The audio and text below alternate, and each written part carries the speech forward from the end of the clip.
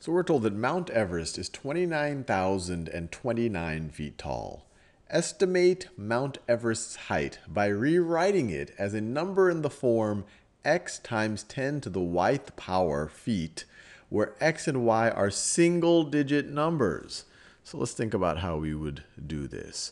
So x and y have to be single digit numbers. So this is, if we were to write in scientific notation, we could write something like, let's see, it would be 2.9 9029, is that right? 2.9029 times 10, and actually let me be careful, times, I should write like that, times 10, I'll use this little caret sign, I'm pressing shift and 6 to get that caret sign, times 10 to the, and I moved the decimal, let's see, in order to go from 2 to in order to go from 2 to 20,000, I have to add 1, 2, 3, 4 zeros, so times 10 to the fourth.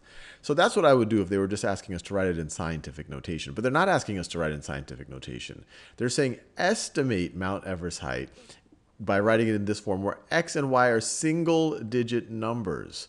So as I wrote it right over here, 2.9029 is not a single digit number. 4 is a single digit number, so at least I got the y part right.